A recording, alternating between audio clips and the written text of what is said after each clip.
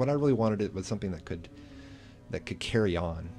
uh, well past me, well past maybe my family, or but um, you know, I guess I've really viewed it as being in the right place at the right time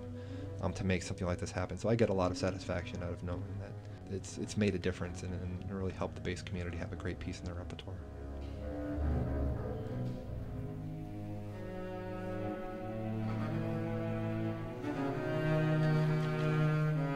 Well, the Harbison Bass Concerto comes out of a, a time in my life when I was in college and uh, my father had passed away. The Walmart company, which he worked for, had uh, given my mother um, and I some some money to uh, to do what we wanted to with, but they encouraged us to donate to a nonprofit, and they would match what we donated. So we decided to donate it to the International Society of Bassists and commission a concerto, and um, we kind of set it on Harbison because of his multi sort of faceted approach with music, his experience in jazz and early music, and and some of the other concertos he'd written for string and wind instruments that we all really liked. Um,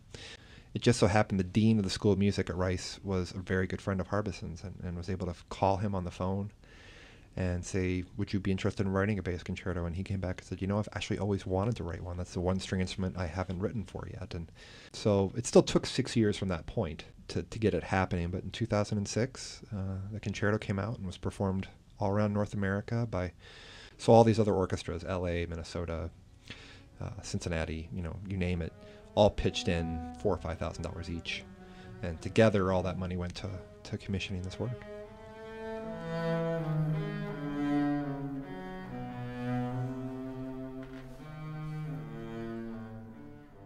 I don't know exactly what I was looking for, but it came out to be just at least as good as or better than I had hoped um, in terms of a bass concerto, in terms of how it's written for the instrument, the the quality of the orchestral and solo writing, and how they interact, um, the different styles that it draws from, the accessibility for the audience. It, it's it's ended up becoming a great piece. I've actually never had a chance to perform the piece myself, even though I was kind of instrumental in commissioning it. So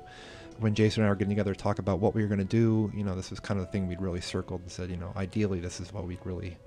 like to do. So it's, it's really a thrill for me to see it come into being, and to work with Jason on this, um, and to kind of show the Cedar Valley area like this unusual concerto that just has such a, a great, um, it's such a great piece for the double bass to show off what it can do.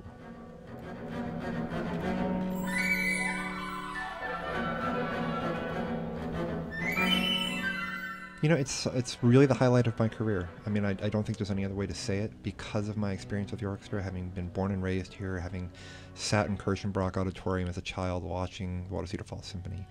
having auditioned and, and won a section job in there when I was 16 and playing with them in high school. And, and now to have gone on, done college, prayed professionally, come back and teaching at UNI, being principal there now and doing this, it's just like a